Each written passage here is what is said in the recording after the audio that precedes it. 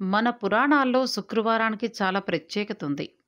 శుక్రవారం రోజు ఆడవారు ప్రాతకాలాన్నే లేచి ఇల్లు వాకిలి శుభ్రం చేసుకుని మంచి ముగ్గు వేసి గుమ్మాలు కడుక్కుని పసుపు రాసుకుని తలంటు స్నానం చేసి దీపారాధన అమ్మవారికి చేసి పరమాన్నం నైవేద్యంగా ఉంచాలి. ఇంట్లోని పెద్దవారికి భర్తకి నమస్కరించి ఆశీర్వాదం తీసుకోవాలి. ఈరోజు ఆడవారు ఎట్టి పరిస్థితుల్లో కూడా కంటనీరు పెట్టకూడదు. ఎప్పుడూ కూడా సంతోషంగా ఉండి ఇంటిల్లిపాదిని ఆనందంగా ఉంచి మళ్ళీ సాయంకాలం దీపారాధన చేసి అమ్మవారిని కొలవాలి. ఇలా చేస్తే ఏకంగా అమ్మవారే మన ఇంటికొచ్చి కొలువై ఉంటారు. మనం కూడా అష్టైశ్వర్యాలు భోగభాగ్యాలతో ఆనందంగా తృప్తిగా సంతోషంగా ఉంటామని మన పురాణాలు శాస్త్రాలు కూడా చెప్తున్నాయి. స్త్రీలు మంగళ శుక్రవారాల్లో తల స్నానం చేయాలి. ఇంటికొచ్చే ముత్తైదువులకు తాంబూలం ఇవ్వడం అలవాటు చేసుకోవాలి. తాంబూలంలో తమలపాకు పోకచెక్క పసుపు కుంకుమ పువ్వులు పళ్ళు వీలైతే జాకెట్ ముక్కను కూడా ఇవ్వండి. వీటితో పాటు దక్షిణ కూడా ఇస్తే లక్ష్మీదేవి అనుగ్రహం లభిస్తుంది.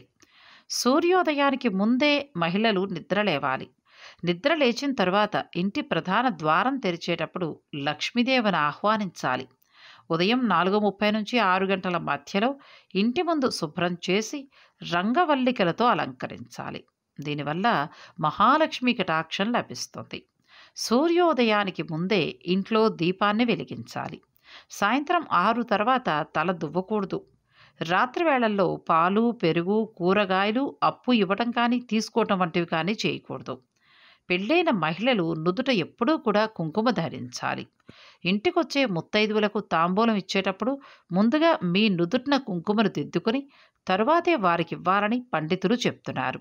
శుక్రవారం రోజున ఈ పనులు మాత్రం అస్సలు చేయవద్దు. అవేంటి అంటే ఇంట్లోని ఆడవారు కంట నీరు పెట్టవద్దు. గుమ్మాలకు పసుపు లేకుండా ఉండవద్దు. కాళ్ళకు పసుపు లేకుండా ఉండవద్దు. భర్తల్ని దూషించరాదు. పెద్దవారిని దూషించరాదు.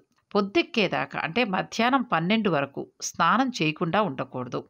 ఈశాన్య మూల చీపిరిని ఉంచరాదు. ఇలా చెయ్యకూడని పనులు చేస్తే దరిద్ర లక్ష్మి మన ఇంటిని వదలదు. మరి వీడియో మీకు నచ్చిందా? అయితే లైక్ చేసి షేర్ చేయండి. ఇటువంటి మరిన్ని మంచి మంచి ఆధ్యాత్మికమైన విషయాల కోసం మా ఛానల్ను సబ్స్క్రైబ్ చేసుకోండి.